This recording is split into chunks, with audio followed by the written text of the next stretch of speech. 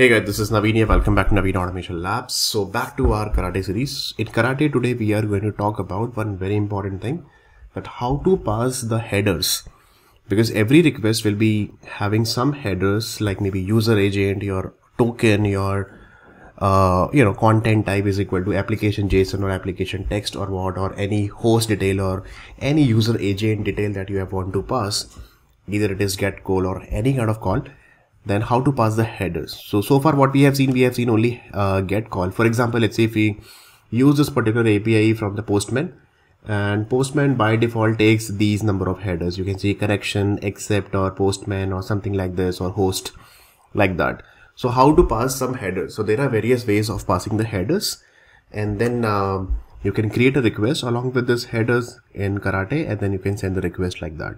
And then you will get the proper response. So let's see how to do this so for doing this, what exactly I'm going to do that I'm going to create another feature file here. Let me just create one feature file and the feature file name that I'm going to cover first headers dot feature. Okay. And I'll do one thing. Let me increase the font and uh, whatever the uh, API that we have taken last time, right? Get API dot feature. Let me just pick up to 200 over here and we will print the response also like this. Okay and uh, I'm not focusing on the assertion today but let's see get API uh, uh, headers features get and I'll, the scenario is that pass the user request with headers. This is my scenario that I want to check. Okay so and then this is a given base URL that we have already configured in my karate config.js in the last topic that we have already seen so this is the URL which will pick by default from here.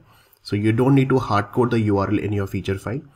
And then path, I'm passing 30 and then get call and then status should be 200 and printing the response over here. But let's see, I want to pass some uh, headers here. So in that case, what will you pass?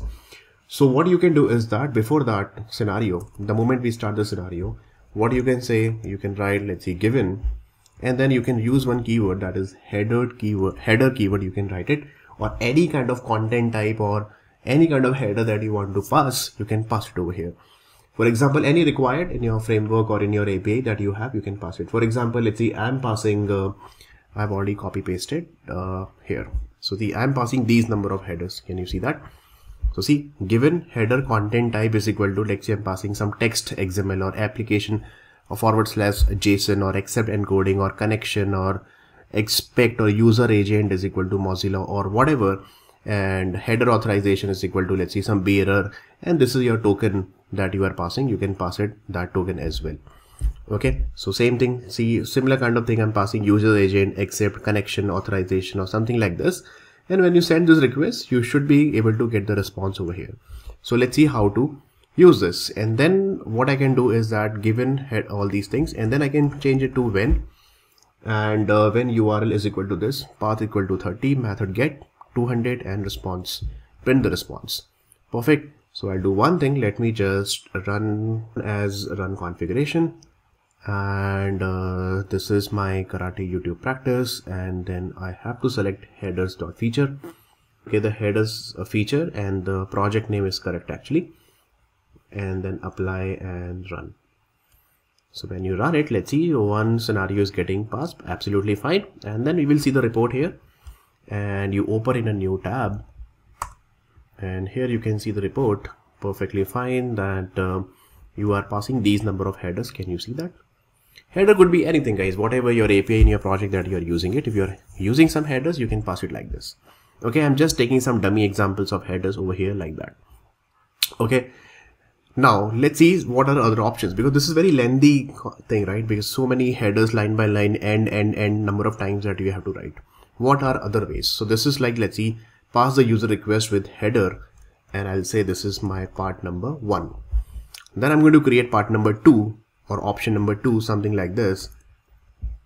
Let's see option number two here. Option number two says that you can pass, you can create one variable, let's say request headers.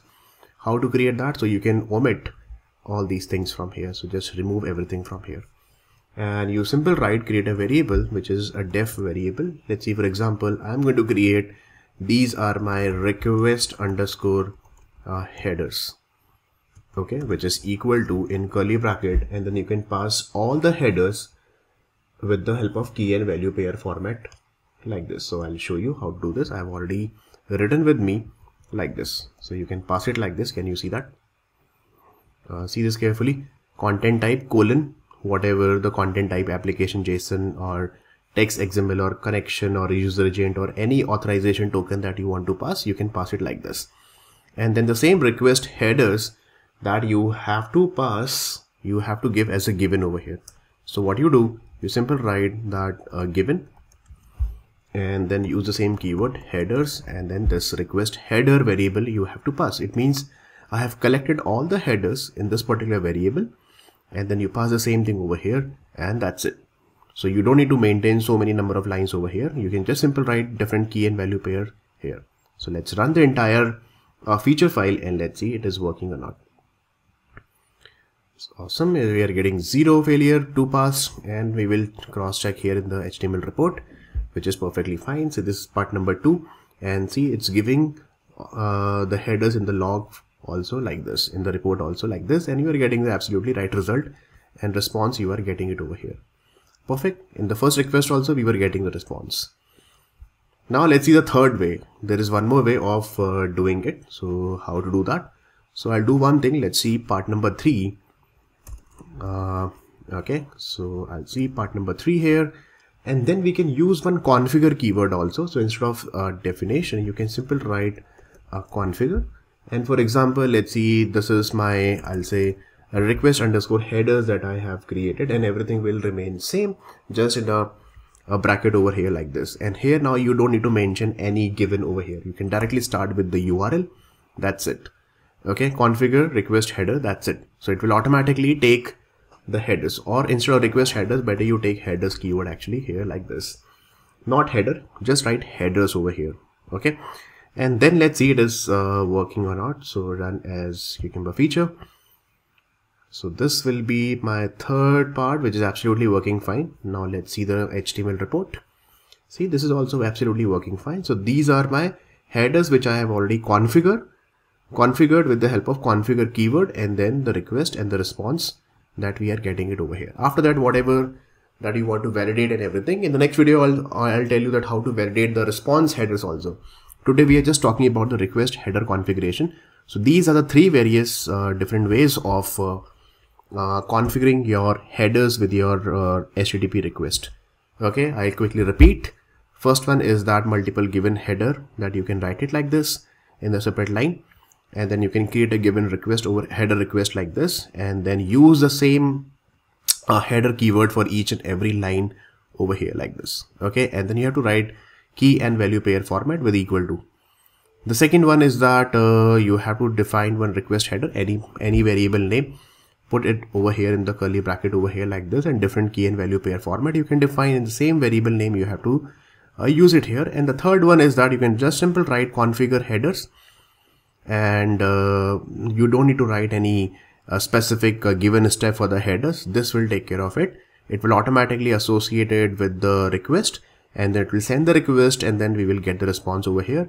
And you can cross check here like this with all the uh, different three uh, scenarios that we have seen. Everything is coming in the green color here like that. Okay so that's all for this particular video. How to pass the request headers with in uh, with your api in karate framework. That's it. So i hope you're liking this karate series. Please subscribe to the channel and apply these things in your framework. A lot of good things are coming with respect to karate and a lot of new things are coming on this channel I'll see you in the next video. Till then, take care and God bless you.